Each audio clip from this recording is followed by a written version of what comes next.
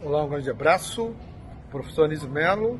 comunicando dentro do plantão da educação do Sindicato Apioc, através de informações colhidas oficialmente pela banca Aldairto Carvalho, que está em Brasília acompanhando todos os despachos relacionados à segunda parcela dos precatórios do Fundef da CO 683, referentes ao Estado do Ceará. O ministro Faquim, conforme documentação, acaba de despachar ao presidente do STF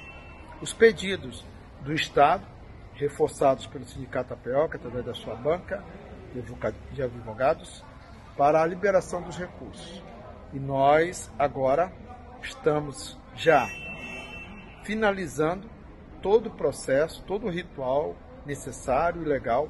para que o Estado Ceará possa ter o dinheiro nas suas contas e nós já estamos atuando desde hoje fomos ao Palácio da Abolição para que a comissão, garantida pela ação civil pública, onde o Estado e o Sindicato APOC irão agilizar todo o processo para que o dinheiro esteja dentro do muro das escolas e no bolso dos profissionais de magistério. Portanto,